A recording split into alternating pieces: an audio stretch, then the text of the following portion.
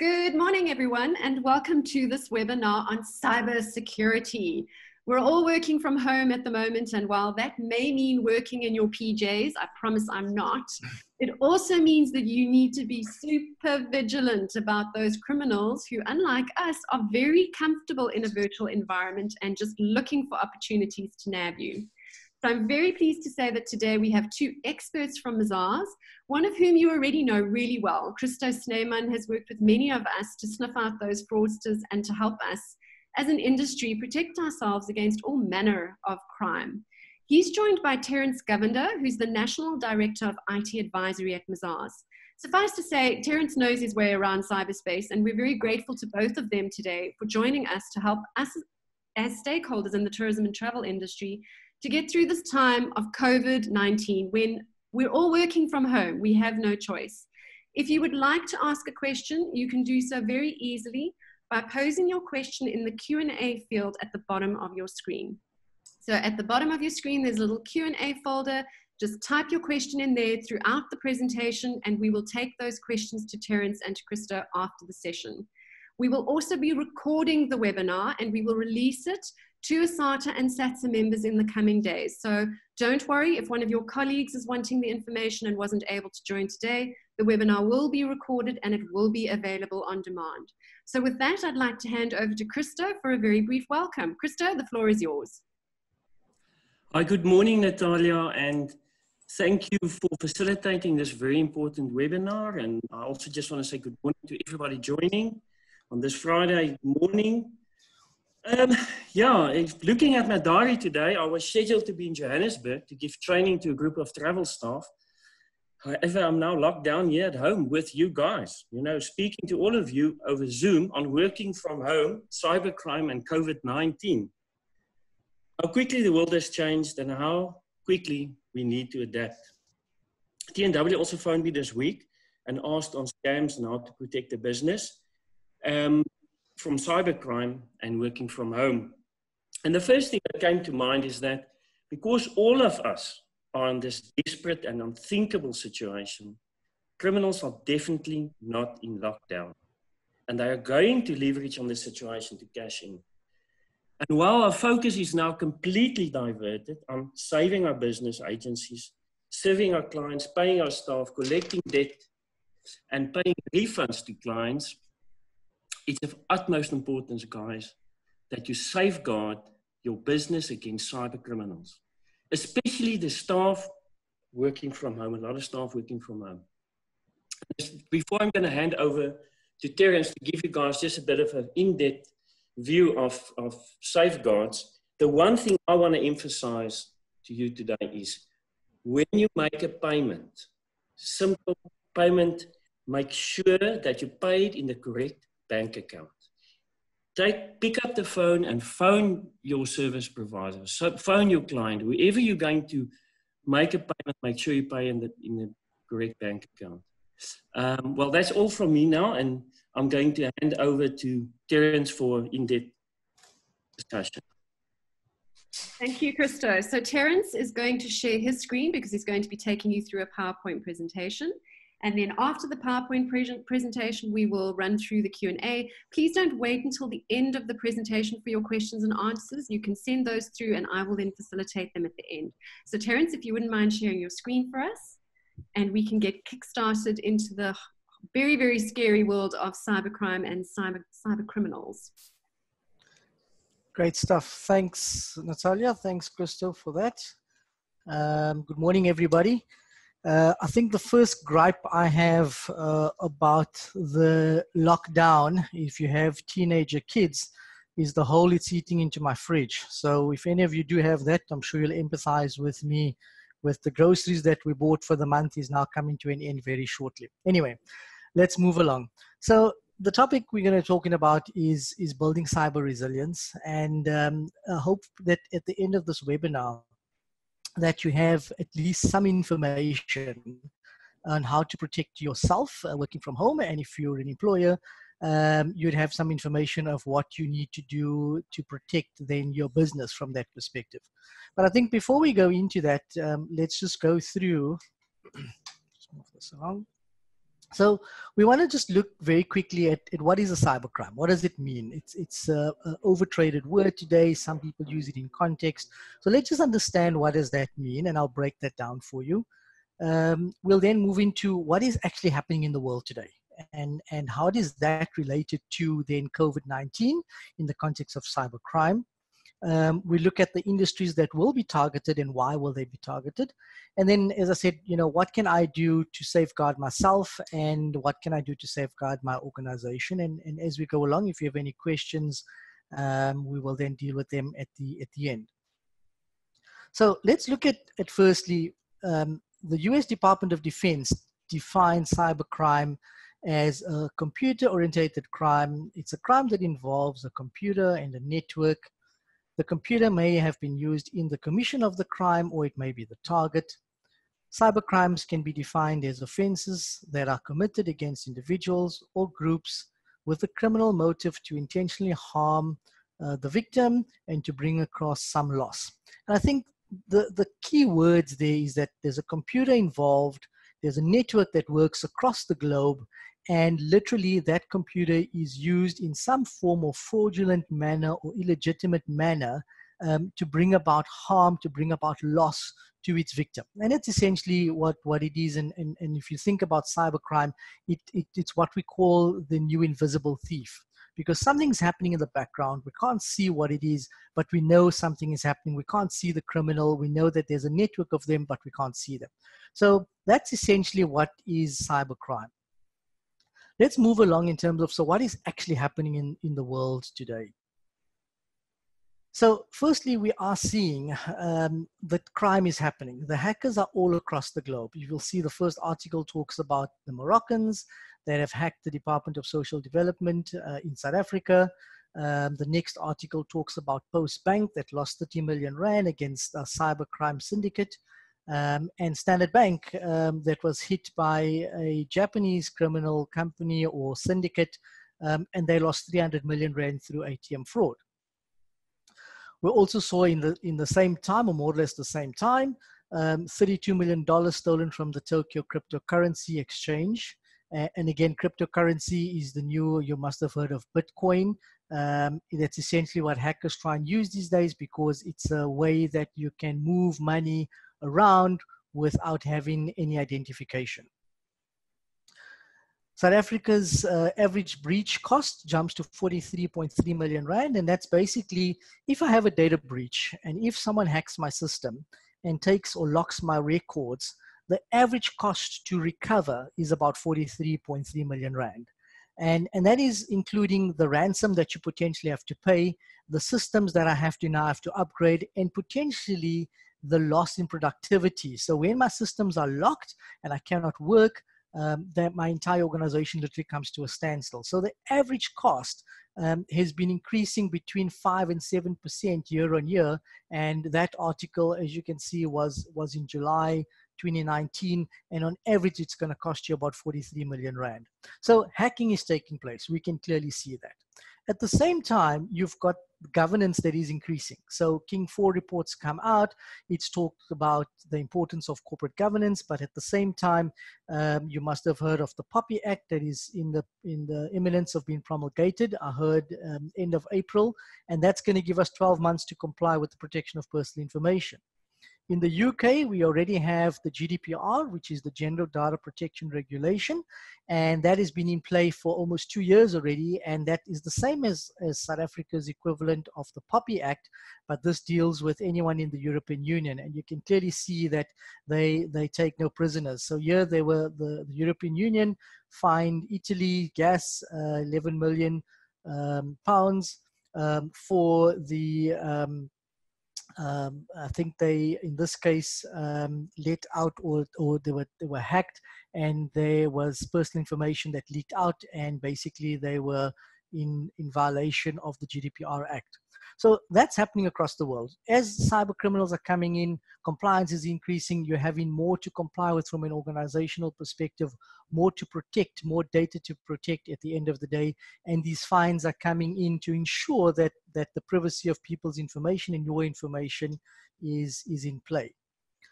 Now we have something called coronavirus outbreak. And, and now I want to step through what does this bring for us and how is this related to cybercrime now that you have a background as to what is happening in the world overall, what is happening before we even got to coronavirus. This is what's been happening in the world anyway. So, what does this mean?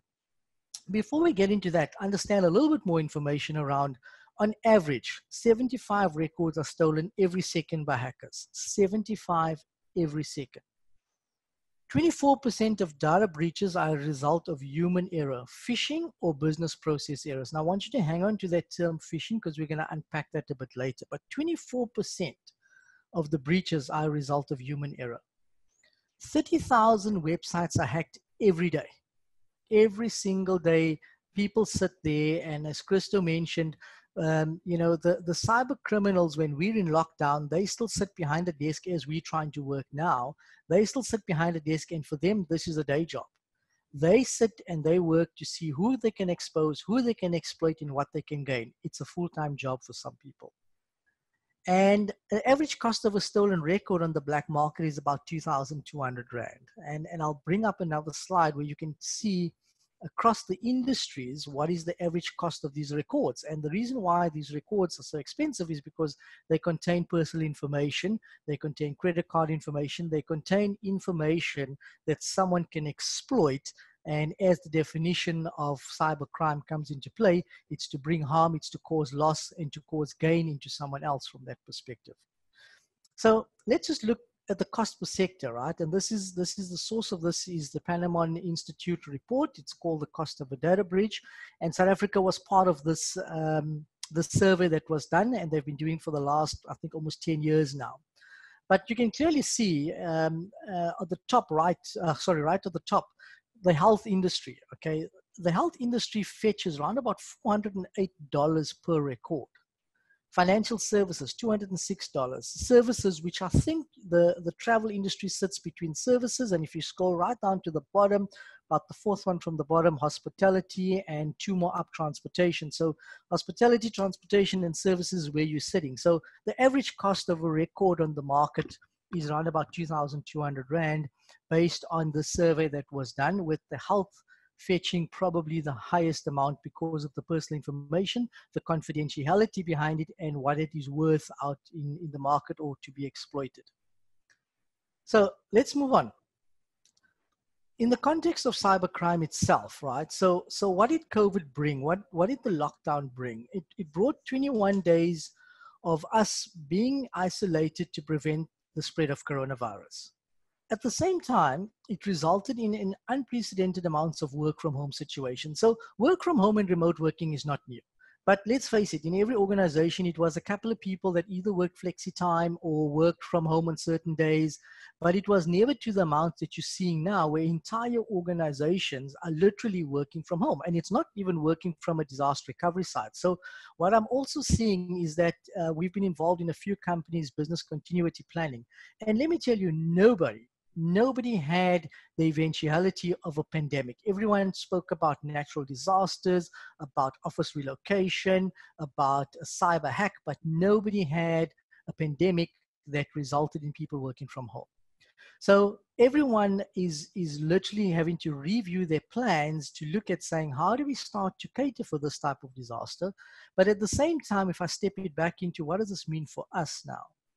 So all types of employers and employees are vulnerable. There's there's no isolation. As I said, these cyber criminals sit behind a computer and they see who's the weakest link. But now we want to go in a little bit deeper as to why are we at this point in time the weakest link or what makes us the most vulnerable. So firstly, when people are at home, they are more relaxed.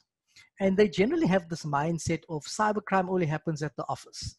So I'm okay at home because they're not going to target me, but wrong, we're going to see why in a, in a few minutes time. Then we look at saying remote working users don't always have antivirus software and what we call a virtual private network software or VPN, where you literally have a dedicated link between your PC at home and the office network, which is, which is far more secure. And then lastly, home computers are really protected with antivirus software personal firewalls. And I mean, just think to yourself, I don't know how many of you, but you, you can have think for yourself.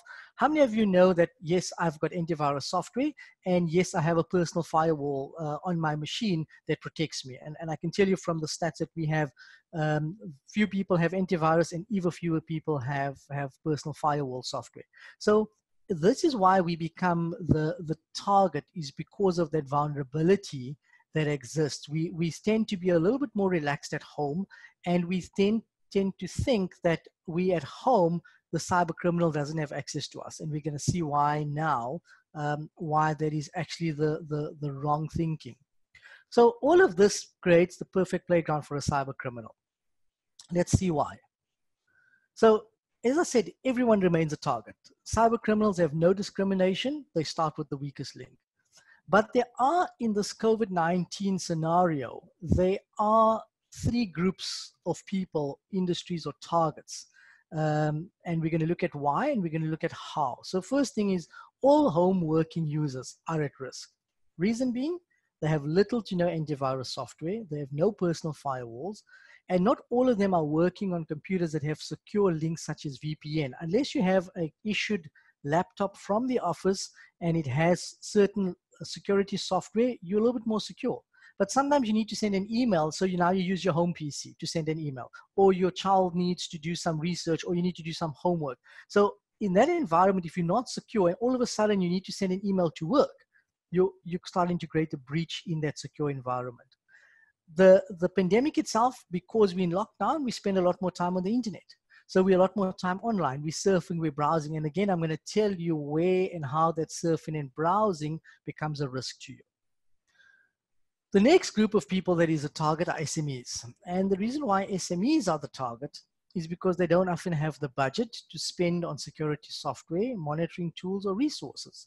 So generally in SMEs, you might have one IT person you don't might you might not have a, a specific security person um, and from that perspective you don't have the relevant tools. Or if you do have the tools it's not a real-time tool so it will be a log file that someone will review from the day before but someone could have already accessed your network the day before um, so from that perspective, SMMEs, purely because their spend is not as big as the bigger corporates do, um, but yet they still carry the same risk. So they still have, if I just take your travel industry, you have credit card information, you have a name, surname, addresses, you have a lot of personal information which is valuable to the hacker out there.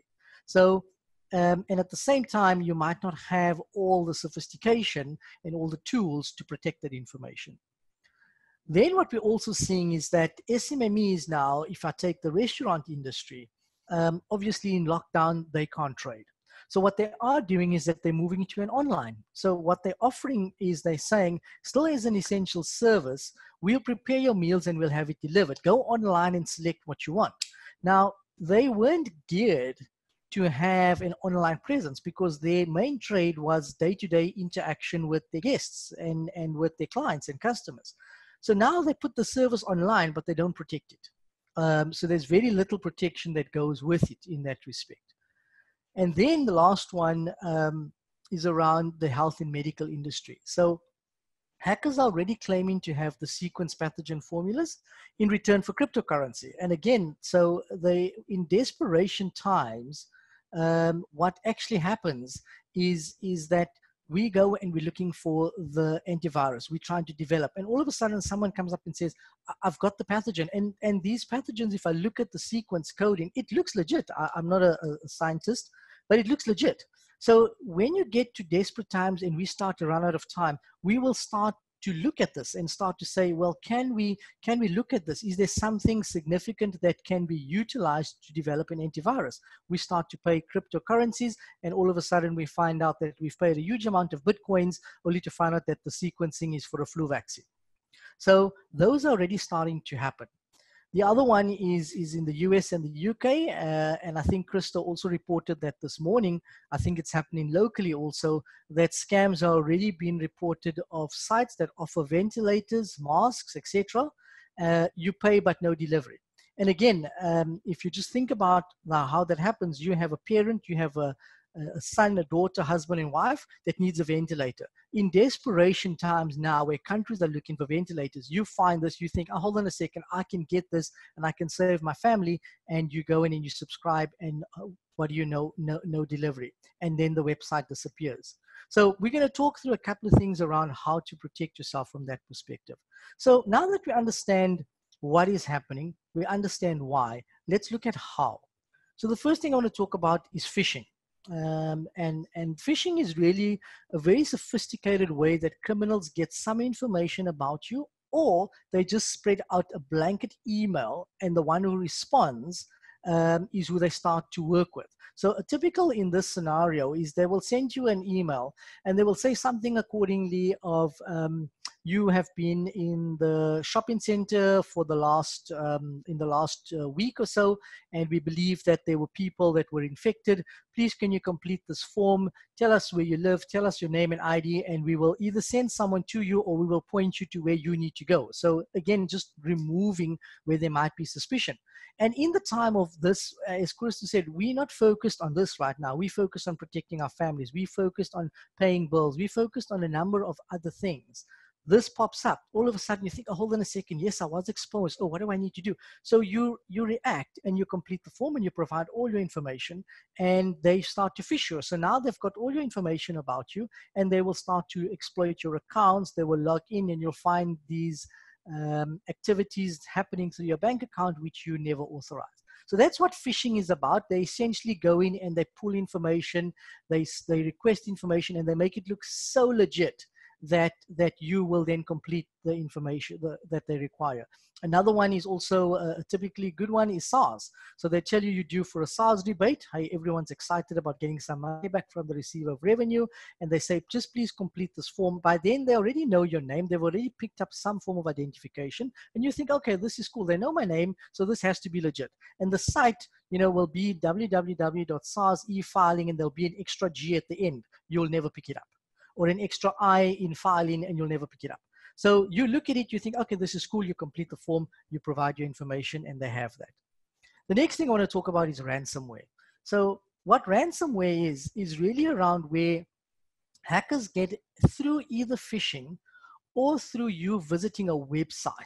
You click on something, you download, and all of a sudden they install what they call malware into your environment. The malware is a file that sits on your computer and records information.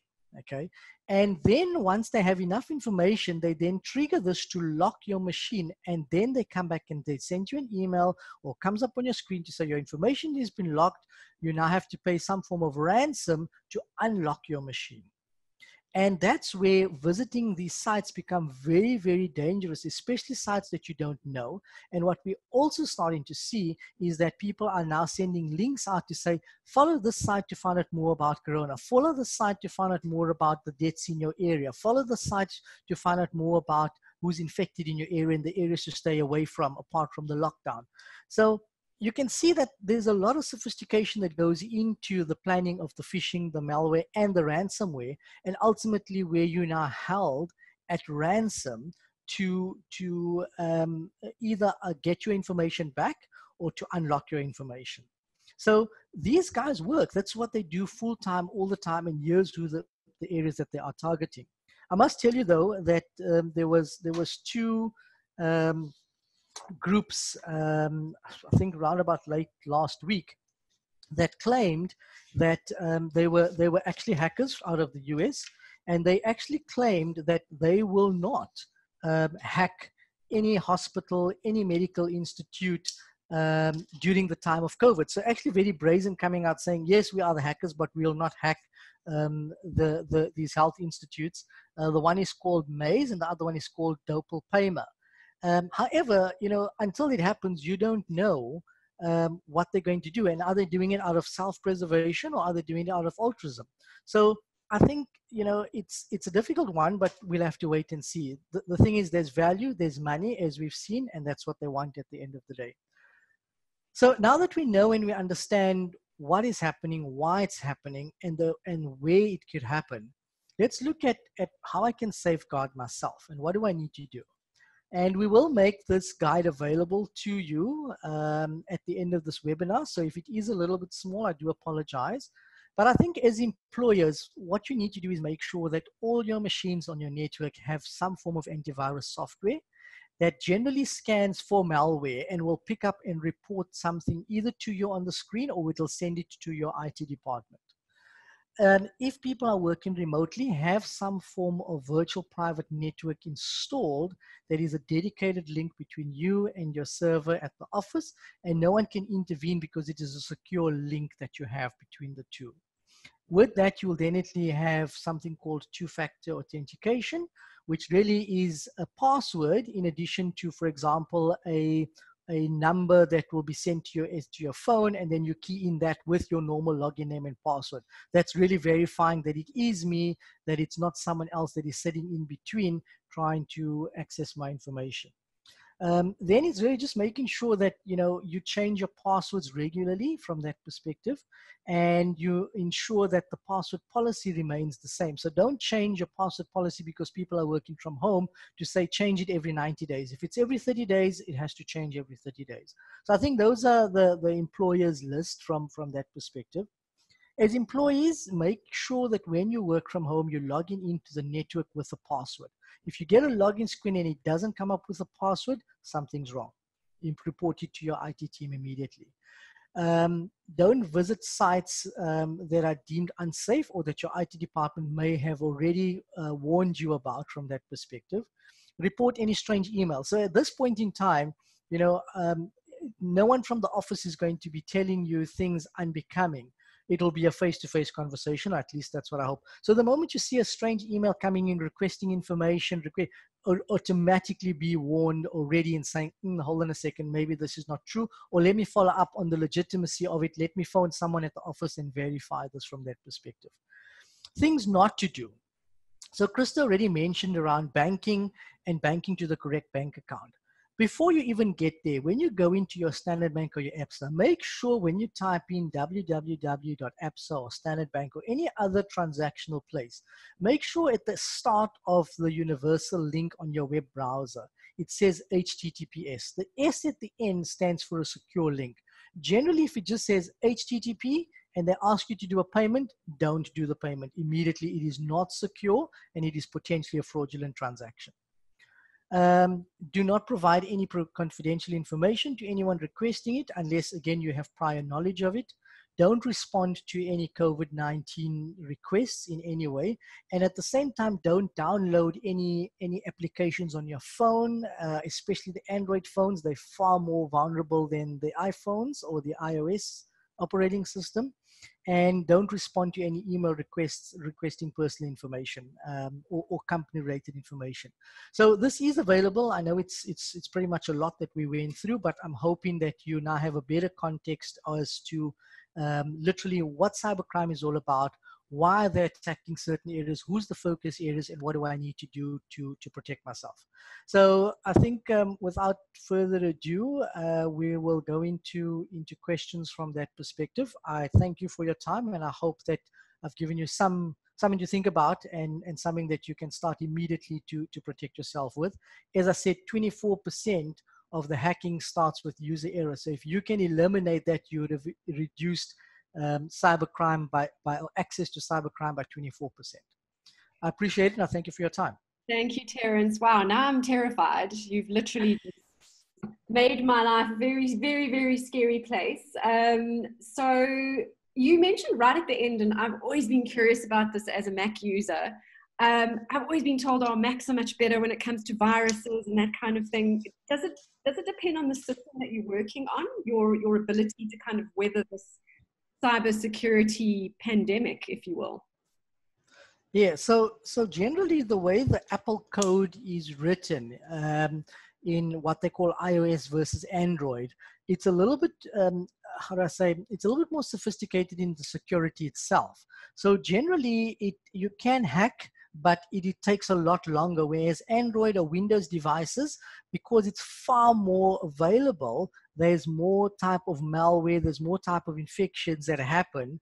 um, in in in those type of environments in a normal desktop Windows environment versus the Apple Mac. So you're a little bit more secure. You're not 100% secure, but you are a little bit more secure from that perspective. Well, that makes me feel a little bit better. And we are getting some questions in um, asking about how you can kind of safeguard yourself because you know, eliminating the human error that you were talking about is not always possible. If you are wanting to pose a question, just please post in the Q&A folder. They are coming in thick and fast. And just to refer to one of those questions, you know, what about having cybersecurity insurance? Now, I haven't been able to eliminate the human error. I'm caught. Would, would cybersecurity insurance help me through that? Is that something I should consider? So I don't know of many companies that are offering cyber insurance uh, at this stage, purely because of the risk that is so high and what it stands to to um, uh, the loss uh, from that perspective. So I, I think cyber cyber security insurance will help, but they might also restrict, as any insurance policy, strict restrict the level of cover to limit their exposure from that perspective.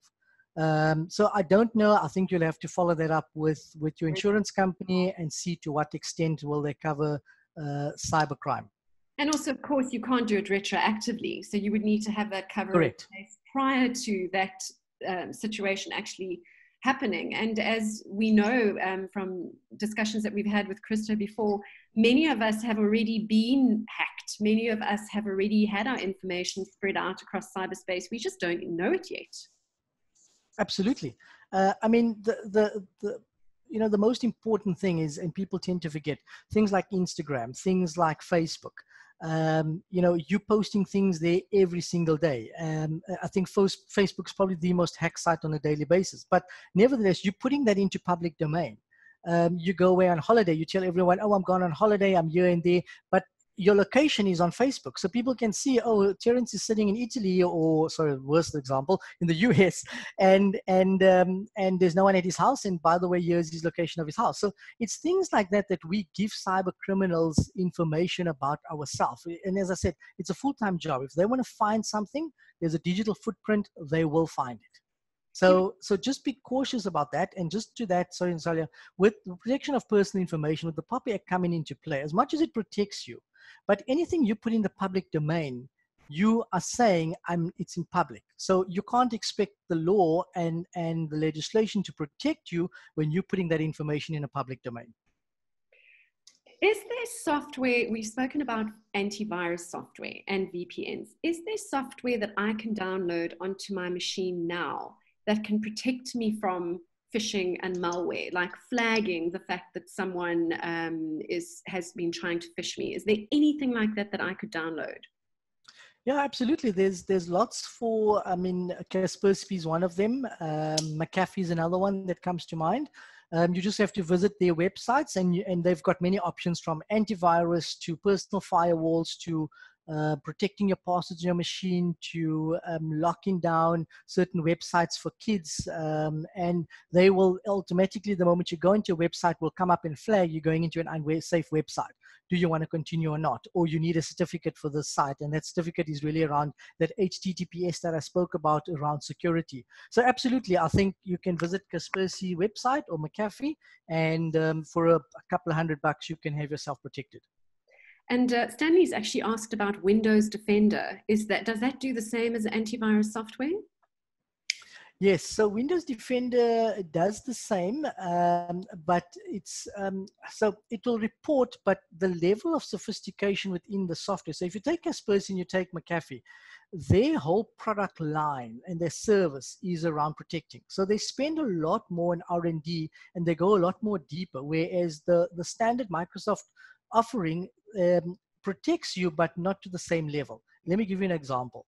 Um, uh, Microsoft Bitdefender might have, um, if you take your house and you put burglar guards on, okay, mm-hmm. it will protect you because you've got burglar guards.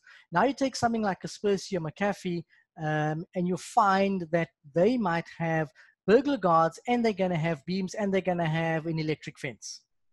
So it depends on, uh, for me personally, I would rather go with something that someone specializes in because this is what they do day to day.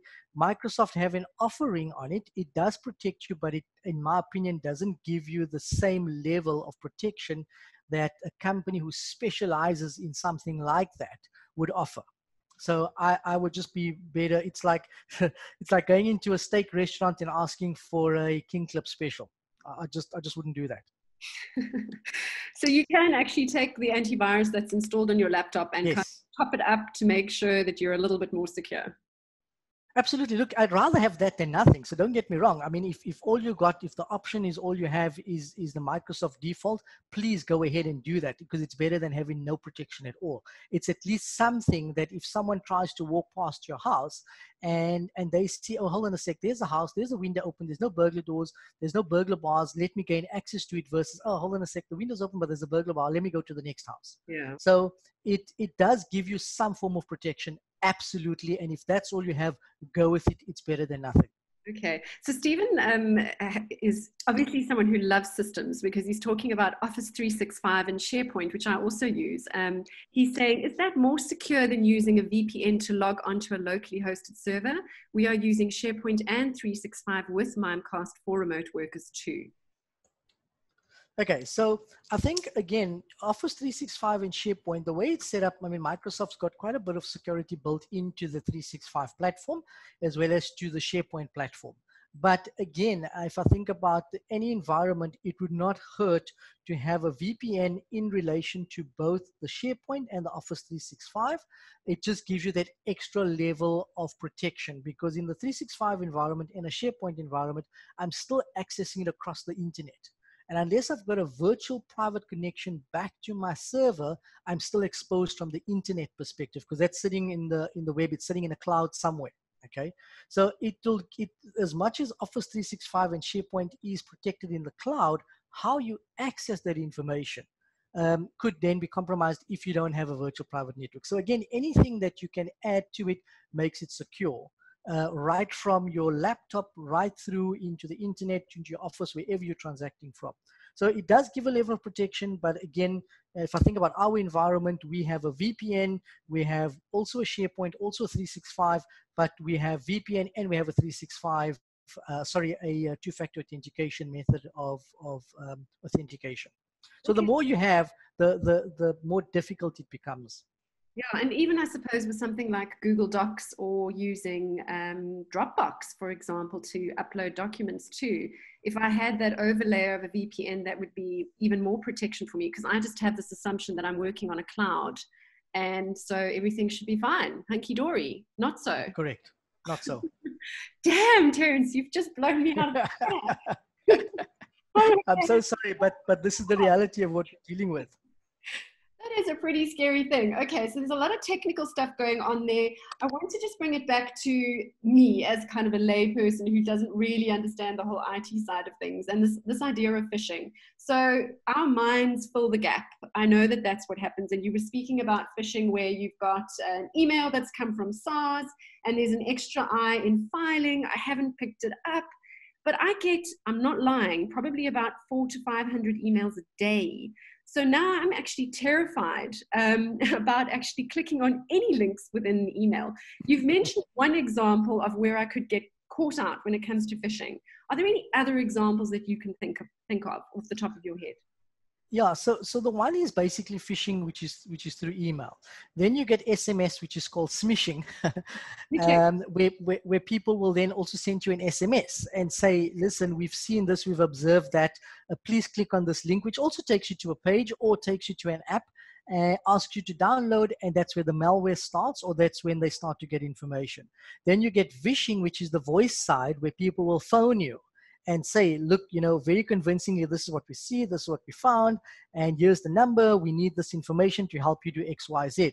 And at that point, they already, for some reason, have some information about you um, and they just try and exploit that even even further. So yeah, they apart from phishing, you get smishing, which is SMSs, you get vishing, which is voicemail, um, and then obviously then then just w- onto a website downloading information you know, or downloading anything is where the malware will then start. If you don't have something that will pick up a signature or a file that says, hold on a second, this is not a legitimate file. So what you're saying is trust no one, essentially. yes. Great. um, and I think the human error side of things is the problem because as much as you're telling me to do this, to do that, I own a small business, do this, make sure that you're not looking at that. And, and my team is a virtual team, so they're very savvy in a virtual environment. With the amount of content that is being pushed at us constantly at the moment because we're all in a virtual environment, it's very, very difficult to eliminate that human error. Very, very difficult. So you would have to have something like a VPN and all your antivirus is in place. That's the one thing I would need to do today to make sure that that is in place. Would you agree? Absolutely, absolutely. I think that there's absolutely no doubt that you know we are human, and and as much as we can work towards eliminating that, at some point in time we are going to be vulnerable to something. So it's always better to have then a VPN or some form of technology. For example, I know both Kaspersky and McAfee um, if you have the um, software installed and I think you take the, the full package, um, the moment you try and download it, scans your email, it'll come back and tell you there's a file here that unless you know the source, please don't click on it. So unless you know you're expecting something from Terence or from Christo or anyone else, don't click on it. If you are expecting it, then yes, you are expecting it. It is a legitimate email. Then click on it. But it will pick up these type of things. 100%, Natalia. I think I think as human beings, we can never be 100%. And and as much as we try, I mean, we can get the 24% down to 4%. There's still the 4% risk. The 4% can become 2%. There's still a 2% risk. And okay. that's all it takes. If you um, have not posed a question and you want to, you have a few minutes left to do so. Just click on your Q&A folder at the bot, at bottom of your screen and type your question. I'm going to go back to some of those questions that we have received. Um, this is an interesting one from GP Venser where he talks about uh, banking sites that don't have that HTTPS, but the little lock that when you click it says, this site is secure. Is that secure or are we being hoodwinked? So no, if it doesn't have the S, they don't have a security certificate. Even though there's a lock on there, it has to say the S. So I think in that case, I've never come across um, a, a, banking site that I've that doesn't have the S. Then then they're obviously using something completely strange. But in the normal tech terms, the S by all banking sites or any secure any anything online will definitely have the S on there. And with the S, you'll then see the lock. If there's a lock with no S, I wouldn't trust it. Okay, so Brent says he's read something that more than 100,000 domains have been registered since the start of COVID 19. Are there any government interventions in place to weed out criminal activity in that number? And that's such a good point. No, 100%. And I fully agree. I, I, think I read the same article, and that's where the increase in domain registration and these um, pop up sites have come about with here's the mask, please, or a ventilator at this price, etc., etc. So, no, unfortunately, registering a domain is not regulated um, and I can register a domain without having a bank account, without having a um, sorry, without having a, a, registered company. All I need is a bank account, and even that could be a debit or a bank account. A little debit card will work as well. So unfortunately, there's no regulation in the sites.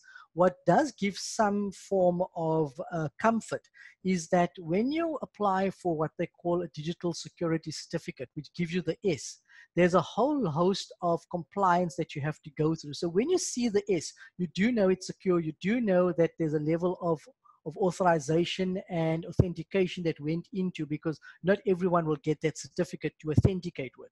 So unfortunately 100% uh, there's there's lots of websites that's come about in the last two to three weeks um, and i think we're still going to see more of that uh, from that perspective and unfortunately it, it is not regulated so my- and it's very difficult to, to determine what, unless it is a, a has the S on, it's very difficult to determine what is legit and what is illegit.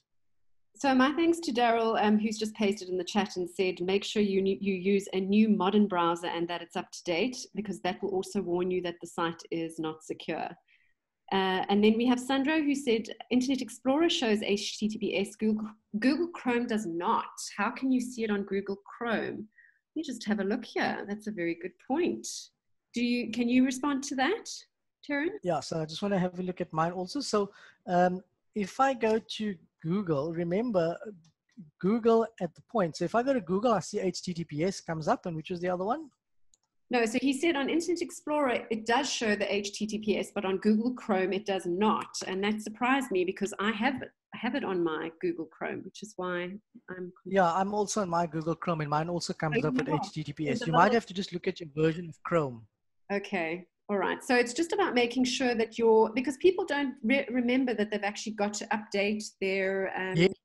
their browser. So, Absolutely. So what's also important is is in the home environment when we when we register, and, and this also talks to illegal software, but when you register legal software with Microsoft, whether it's it's your desktop or Office 365, they will constantly push updates to secure your environment. So they know you're registered and they'll know they do a check on their side and they'll see version 2.5a is now released uh, or, or is expired, version 2.5b, and they will automatically push an update. Either it happens automatically or they'll ask you, do you want to update update your system and it updates. Where you have, for example, previously where you had unlicensed software. So I buy the software and I give it to Natalia. Natalia loads it on her machine and it works, but some features are restricted those are also exposed because you're not getting those updates as I'm receiving it because you've got an illegal or unlicensed version of that software. So you also need to make sure that whether you, uh, if you are legitimately have software, that you do have the latest browsers if it's not updated automatically, um, because that also creates all of these software comes with bugs, uh, as, as we call them. And what we then need to load is something called a patch or a fix to address that vulnerability that exists generally today's time you know over the last few years these things happen automatically previously you had to manually go in and update and that's i'm not even going to go there in the discussion because it happens automatically unless you're sitting with the machine that is 10 years old you've got a problem yeah, and I'm actually seeing on my Chrome now, there's a, like Ilza, there's a little lock on the left-hand side, and Daryl's just said that um, the lock in the address bar indicates that it is secure. So if you're on Google Chrome, like I am, and that little lock is not there, that's the equivalent of the HTTPS. Uh, interestingly, a question around incognito. So I often do that because I'm working on content and I need to see what other people in the world are seeing if I Google something. Does it make a difference if you browse incognito? Or will that HTTPS still come through? No, so so look, when you browse, so let's just go back a step. So when you browse a site, right, or when you go in and Google and you do a search and you go into into a website, not all sites that you're going into where there's no transacting needs to also have the HTTPS. So that's something I want to make clear. So if you go into a site and you just want to look for something and you want to download something, it's always good to have to make sure that the site is there, that, that it's secure, right? But if you're not transacting anything and you're not putting any information down on there, it's okay to still browse the site. The, the security comes in when I have to download, or sorry, when I have to put in information of my own. I have to put in credit card information. I have to transact. I have to pay for something. That's when the S actually becomes very, very important. So you can still go in into a HTTP site or the lock site. It doesn't have the S, provided I'm not I'm not transacting anything on that site. Okay. So somebody actually spoke about Zoom a little bit earlier, and those of you who use Zoom will have noticed this morning that it had asked you to upgrade it. That is because, and I experienced that firsthand, not in my own meeting, but in someone else's meeting, that there were hackers on the loose and they were hacking chats. Yes. Popping in with videos which were very inappropriate, and Zoom has now fixed that patch. So, since you are all on Zoom at the moment, and if you haven't upgraded Zoom, may I suggest strongly that you do do that today um, Zoom is secure, but it was hacked like I suppose everything can be. Yeah. And, and again, Natalia, I mean, because they've picked up that people are working remotely, they're looking at collaboration tools. So they're looking at Zoom, they're looking at Skype, they're looking at Microsoft Teams. They started hacking all of these to get access to these chats. But again, can you see how quickly it's moved now um, between between just looking at people from home, but then now they've got more sophisticated from a perspective that they're looking at, at ways that they know people are going to collaborate. So what next is to look at the collaboration tool. So they'll look for the next vulnerability that exists always. And the vulnerability in social media, as you said now, because people have time, well, I don't, but people have time to have a look at their social media profiles. Uh, now more than ever, you should be going into your preferences and making sure that you have set them as strictly as possible correct? Absolutely absolutely. I think a lot of people go in set up their facebook set up their insta set up their twitter profiles and they don't go back and check the security settings. And by default it's always open. It's not restricted. You need to go in and you need to restrict who has access to what and who sees what from that perspective. I think facebook's now changed that um, again coming under strict compliance with the us but um, generally most of them don't have or come in with with you have to go and set those privacy settings. How secure is using QR codes for online payment? Do you have a view on that? Sorry, say it again. How secure is? How secure is using a QR code for online payment? Would that be a secure way of of contract?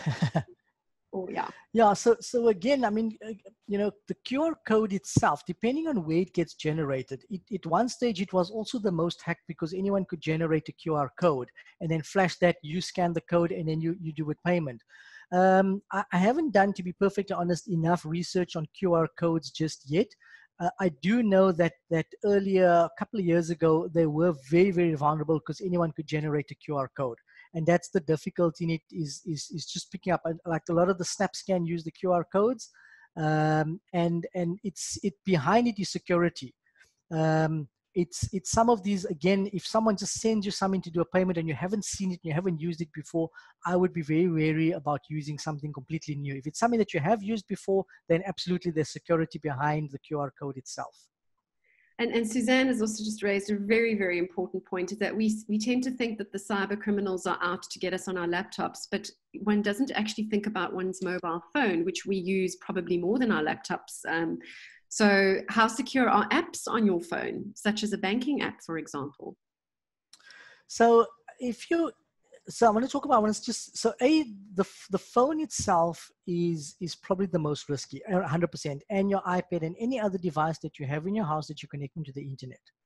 When you connect to the bank its app itself through the browser, okay, the security on the S means that the bank side is secure, but the way you're transacting on your data SIM card or your Wi-Fi through to that banking app is exposed, right? Rather download the app because the app itself it allows a VPN connection between you and the banking site itself. So in my opinion, when you are using banking, rather use the, the banking app. Don't transact over the internet uh, on the browser of your devices. That is that is dangerous. Ah, okay. I would just use the app. I would use your app all the time. Yeah. And in addition, I wouldn't go into malls and use the free Wi-Fi. Uh, unless again the Wi-Fi is secure and you have to put a password in that again gives it some security. So again, you can use the app the browser I'd be very worried or very aloof to because of the fact that that if you don't have a VPN and you're literally using it across the browser, the banking app itself, the banking site itself is secure on the S. But the information you're transacting in between is not is not secure. Wow. Okay. So if we're getting an email from a bank saying da da da da da da, and you click there and it goes through to the bank's website, and then you put your password in, that would be a lot less safe than me just going straight to my banking app and contracting there for what I need. Yeah, hundred percent. And that's why the banks have pushed a lot of the security into the app itself, so that you can transact in that manner. And where the bank will ask you to use a website, then they'll do the two-factor authentication. So what they'll do is they'll send you the email. You can click on it they have a registered cell phone number with you. They will then say, put in your login and password, and then they'll send you a code on your phone. You then type that code in in addition to your password. And the moment the two of them are not in sync, the transaction will stop. Okay. So that's the only time, but the bank will send you that. If no, if no one else should be sending you that, the bank will send you that, and that's the two-factor authentication. If you don't have an app on your phone, and of course, you're not using that. same applies. You have to update your browser, you've got to update your phone on the latest version, and you've got to make sure that when your apps need to be updated, they're all updated. Correct. Okay. Uh, Carla, how safe is it to use the autofill when filling in forms on the internet? That's my favorite thing, Carla. Carla, um, I, I personally don't use the autofill because you don't know where that information has been recorded in the autofill itself, unless, for example, um, you again let let's take um, uh, a banking site or let let's take I don't know um, let's take Discovery or, or any your health provider, and you go in there's a HTTPS and you have a pre-populated uh, information. Now, generally, that pre-populated comes from a secure background of who's hosting it, and let's say it's your medical aid provider, right? That's safe enough. But when I go into a site and it's pre-populating from my web browser, onto a page that I've never seen before, that that to me is risky. By default, personally, for me, I don't use any pre-populated information. I capture information from scratch at the time and I don't save anything to my browser because people have access to your browser. And when you keep that automatic payment, when you do a payment and you say, save my password to the browser, I don't enable that. That's just me personally. Um, purely because people can have access to, in fact, I can go into your screen, I can open up and I can just have a look in plain text, all the sites you visited, all the logins and all the passwords that you have. Um, it can either be displayed or I can, with a little bit of information, I can have it in plain text. So it can either be encrypted or I can have it in plain text. And that's there on your browser right now. I'd rather you didn't, Terence. You can keep answering these How secure are the SSL pay sites like Scroll, for example? Yeah. Are so they... SSL, yeah, SSL is secure. So um, that stands for Secure Software Link. Um, so SSL is secure. Um, all the payment sites generally are secure. Um, and you'll see they will offer that, that two-factor authentication where you register, and they will also then pop you a, a um, um, uh, alphanumeric key or a numeric key to your phone, which you then have to key in back to the site, and then they they, they validate or verify that it is you. So anything with SSL is is secure, and uh, like I said, I've never hardly ever come across anything that is that is regarded as SSL that's not secure. And again, something like like Kaspersky or um, McAfee, if it goes to a site where a certificate has expired, so you might have an HTTPS or SSL link site and it expired, it will tell you the certificate is expired, you might not want to trust the site, which means if it is someone who's hosting and they haven't renewed that certificate, which means it hasn't been validated, you are at risk. You're now putting in your information with at your peril without being validated in any way. So it's important also for these organizations to renew their certificates. They pay a bit of money, but it gives the legitimacy and security around it. Okay, we've got uh, four minutes to go until the end of our webinar. Naresh has pointed out that with uh, Kaspersky Internet Security, there is a plugin on Chrome or Firefox and Internet Explorer which by default is not enabled, one has to actually install to enable it. So there's, there's a plugin essentially on Kaspersky Internet Security. So that's good to know. Um, can I pop into things to look out for? So we've had the question, what sorts of anomalies would you look for to identify whether or not your system has been compromised? To give me a little bit of a tip off. Sure. So again, without having the software, it's really very difficult. Malware can sit on. I mean, we, have done investigations and we've done uh, clients where we went to where we've traced malware sitting on their servers for three months before it was actually activated. Um, it's very, very difficult to see or to spot with the naked eye. Um, again, the only other way to look at it would be um, through phishing. So to looking at, at any emails that's coming in that um, you is really around looking for information or wants you to update something. That will be the first, I would say, more uh, easier point that you would look for. Um, the second would be, you know, visiting a website and and looking or downloading something, and then they'll ask you, do you want to write or modify your file? Immediately, no. Um, uh, and again, unless you've got the, the Kaspersky or McAfee software or Bitdefender, whatever it is that will read a file in, in almost binary or ones and zeros that will tell you. Unfortunately, more than that, you know, there's nothing that's visible to the naked eye. And is there a way for us to report cybercrime? So let's say somebody contacts us and says they have hacked us and we must pay them a small fortune. Normally I just delete those emails, but can I report them to someone? So yes and no. So um, the cyber bill with POPI is coming into play. So at this stage, you're not requested to report them and there isn't any major line that you can report to. It is coming out though, where, where you will be have to, from a POPI perspective and a cyber perspective, you have to report the breach and you have to record the breach. Right now, the only people you can report it to is your internal organization. And what you can do is log it with SAPS. So, so SAPS are starting to gear up their cyber criminal. They already have a cyber criminal division, and all of that can be reported to the SAPS, but a specific number will be made available in the near future. So for now, it's just SAPS to report the cybercrime. Other than that, um, there, there isn't anything available right now, but there will be in the future that you will have to report this from a compliance as well as from an investigative perspective. So for now, it's just SAPS. Okay, so I'm going to unfortunately close the webinar now. We've reached our one hour uh, limit, but there are a couple more questions that have come through and I would ask you if you could please just send those through to me at asata at bigambitions.co.za, asata at bigambitions.co.za, and I'm sure Terence will help me respond to those. I do want to leave with this just last comment that Leandra has um, shared with us, and she said, I want to reconfirm what Terence has said in terms of Kaspersky. I'm using this at home to protect my homework environment and for my kids on their phones and school research projects, personal laptops. A few years ago, we had a hacked attempt via an online farming game that my son was playing. It's a real threat and it is scary. The hackers are clever. They will try to access work laptop through the back door, your children's devices, for example. So please take Terence's advice. On that note, Terence, I'd like to thank both you and Christo for joining us today and for all the attendees who joined us as well. Again, if you do have a question or you had a question that we were not able to answer during the session, please email me at asata at bigambitions.co.za. I promise I'll click on it and not delete it because I think it's cybersecurity or cybercrime in the work. And I do hope that everybody is having a very good day and a good weekend. And please stay safe and stay strong at this time. Thank you guys for joining. Cheers. Thanks. Bye. Bye.